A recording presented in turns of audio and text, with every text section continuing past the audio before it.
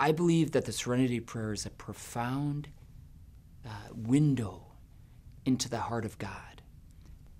When I ask people if they remember the Serenity Prayer, they, they say, it sounds familiar. And, and then I recite it to them and I say, God, grant me the serenity to accept the things I cannot change, the courage to change those things that I can, and the wisdom to know the difference.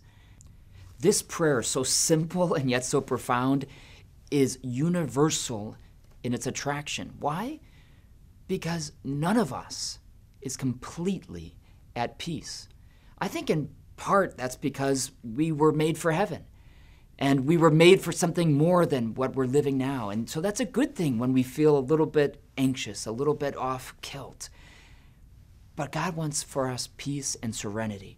And so when we pray, God, grant me the serenity to accept the things I can't change. Well, I think we're saying, I'm a human being. And God, I need your help. That's a powerful prayer. It's a humble prayer. And praying is simply talking to God. If you can tell me that you feel powerless, tell that to God.